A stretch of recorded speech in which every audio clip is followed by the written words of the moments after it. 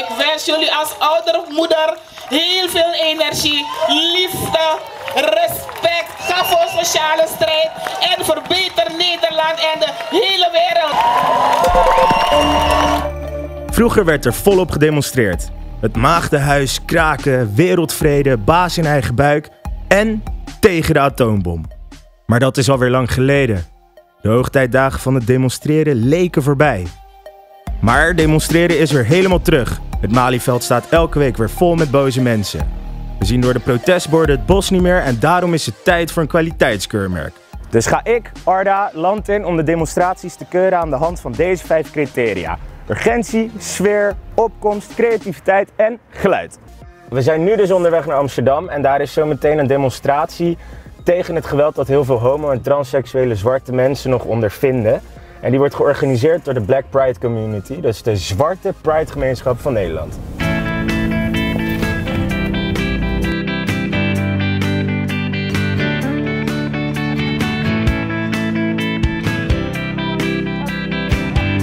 Hi, zou ik jou misschien een vraag mogen stellen? Uh, dat mag. Ja? Ja, tuurlijk. Ja? Oké. Waarom sta jij hier vandaag? Meer gelijkheid. We moeten het meer in de media laten zien. We moeten op school meer mensen erover educaten. Mensen die queer en zwart zijn, die hebben het uh, extra zwaar in deze samenleving. Zelf werk bijvoorbeeld in het onderwijs en als ik zie hoeveel uh, jongeren, hoeveel kinderen er nog bijvoorbeeld niet durven te zeggen dat ze gay zijn.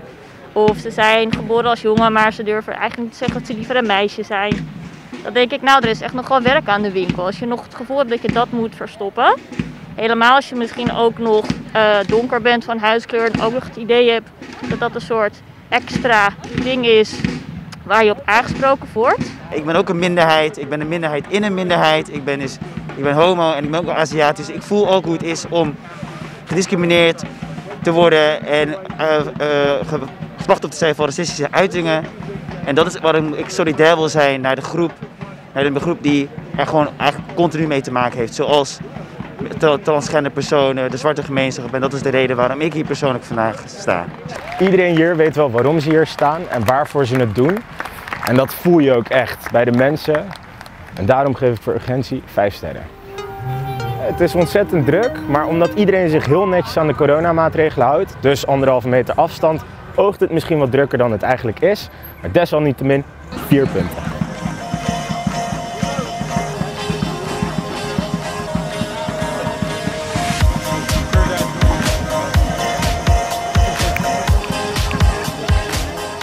Nou, creatieve uitingen zijn er hier genoeg te vinden. Heel veel mensen hebben een bordje in hun hand en ze hebben echt hun best erop gedaan. Dus met heel veel kleuren, glitters, etc. Het is er allemaal. Daarnaast valt het ook op dat heel veel mensen zich hebben uitgedost en dat is ook mooi om te zien. Ik ben wel benieuwd wat die vlag betekent. De vlag is inclusiever, die houdt rekening met de transfobie en het racisme wat er ook in de uh, LHBTI community plaatsvindt. Ja, voor creativiteit eigenlijk 4,5 ster, want niemand is perfect. Ik wens jullie als ouder of moeder heel veel energie, liefde, respect. Ga voor sociale vaardigheid, ga voor sociale strijd en verbeter Nederland en de hele wereld in naam van Mama Aisa.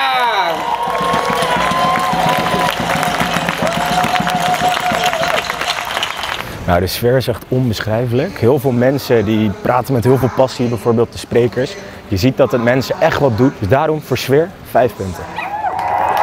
Are we proud of fucking geluid zit hier helemaal goed. Er zijn drums, mensen maken muziek, mensen schreeuwen, mensen juichen. Zoals hier achter me weer gebeurt. Dus ja, voor geluid 5 punten, want ze laten zich wel echt horen. Black Pride en of die te voelen was tijdens deze actie. De demonstratie op het Museumplein was in alle opzichten indrukwekkend. Dit kwam vooral door de pure emotie die zowel bij de sprekers als de demonstranten te zien en te voelen was. De stiltes waren minstens net zo oorverdovend als het gejuich.